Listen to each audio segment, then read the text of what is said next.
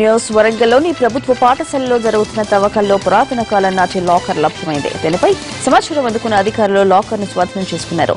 అనంతరం జిల్లా కలెక్టరేట్కు దాన్ని తరలించారు అధికారులు. దాన్ని అక్కడే తెరుస్తామని అంటున్నారు. ఇలాంటి లాకర్లు ఇంకా ఏవైనా ఉన్నాయా అని పరిశీలిస్తున్నారు పోలీసులు.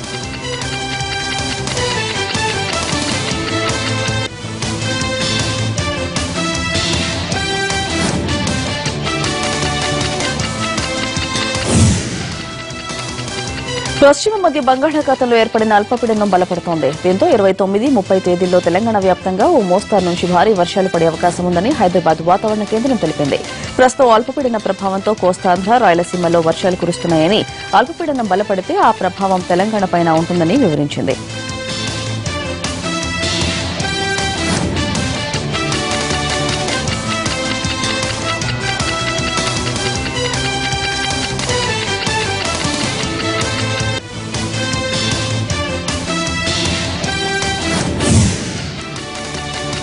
వినోద్ రాయల్ ఆత్మకు శాంతి కలగాలంటూ శ్రీకాకుళంలో కొవ్వొత్తుల ర్యాలీ చేపట్టారు పవన్ ఫ్యాన్స్. స్థానిక టౌన్ పోలీస్ స్టేషన్ నుంచి సెవెన్ రోడ్ జంక్షన్ వరకు ర్యాలీ సాగింది. ఈవెంట్లో పవన్ అభిమానులతో పాటు జనసేన కార్యకర్తలు భారీగా పాల్గొన్నారు. అభిమానం ముసుగులో దారుణాలు చేయడం సరికాదన్నారు Pavan fans.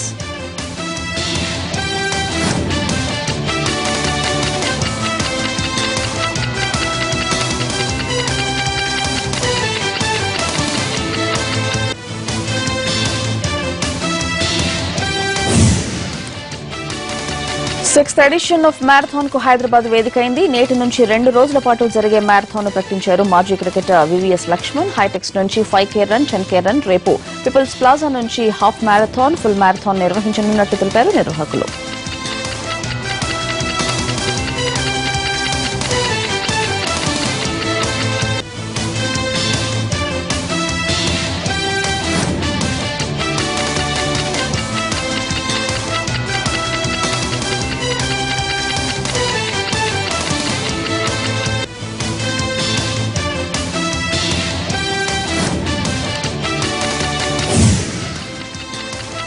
రాహుల్ గాంధీకి బీజేపీ ఎంపీ సుబ్రహ్మణ్య స్వామి ఉచిత సలహా ఇచ్చారు. కాంగ్రెస్ పార్టీ వైస్ ప్రెసిడెంట్ గానే కాదు రాజకీయాల నుంచి కూడా వైదొలిగితే కాంగ్రెస్కు భవిష్యత్తు ఉంటుందని ట్వీట్ చేశారు స్వామి. జాతీయ స్థాయిలో ప్రాధాన్యం ఉన్న కీలక అంశాలపై యూటర్న్ తీసుకోవడం అనేది రాహుల్ స్వభావంగా మారిందన్నారు స్వామి. రాహుల్ పెరిగివాడని ఆయనకు రాజకీయ భవిష్యత్తు ఉంది అనుకోవడం లేదని అభిప్రాయపడ్డారు ఆయన.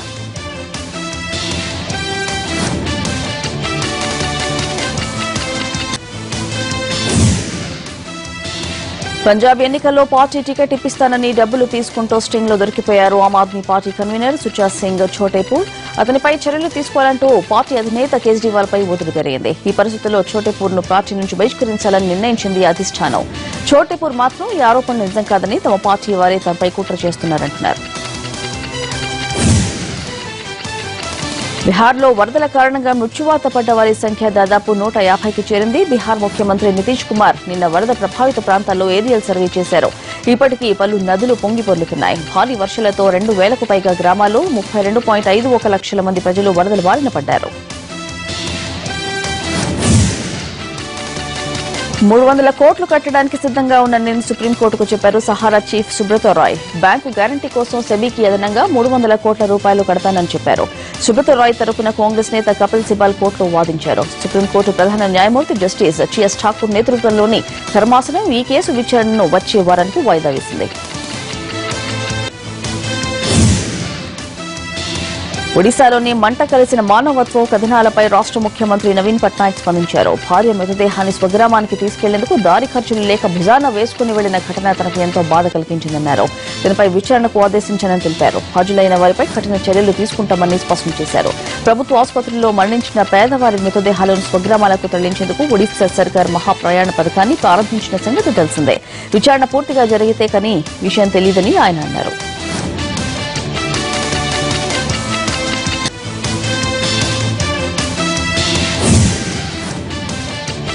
అమెరికా న్యూ జెర్సీలోని ఇస్కాన్ టెంపుల్లో కృష్ణాష్టమి వేడుకలు వైభవంగా జరిగాయి. ఈ వేడుకల్లో తెలుగు ఎన్ఆర్ఎల్ఏతో పాటు ఇతర భక్తులు భారీగా పాల్గొన్నారు. దాంతో ఎన్సోన్ యాభై ఇయర్ సెలబ్రేషన్స్ కూడా నిర్వహించారు నిర్వాహకులు. ఈ వేడుకలు నిర్వహించడం సంతోషంగా ఉందన్నారు. అగ్రరాజ్యం అమెరికాలో క్రికెట్ అభివృద్ధికి నడుం బిగించింది భారత క్రికెట్ కంట్రోల్ బోర్డు. ఇప్పటి వరకు అమెరికాలో నాలుగు అంతర్జాతీయ మ్యాచ్లు జరిగినా పెద్దగా ఆదాయం లభించలేదు.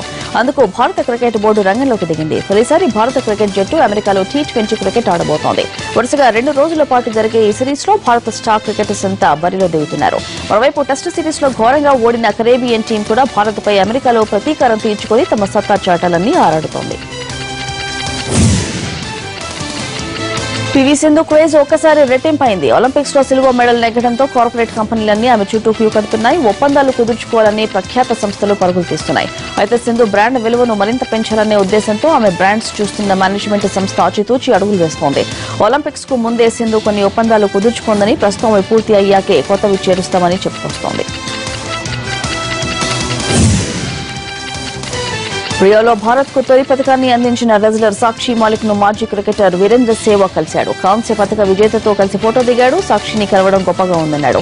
కాంస్య అందుకున్న తర్వాత మిమ్మల్ని కలవాలనుంది అంటూ సేవాకు సాక్షి ట్వీట్ చేసింది. తనకి స్పందించిన వీరు తప్పకుండా కలుద్దాం. కానీ కలిశాక తనతో కుస్తీ పోటీకి దిగరాదంటూ రిప్లై ఇచ్చాడు.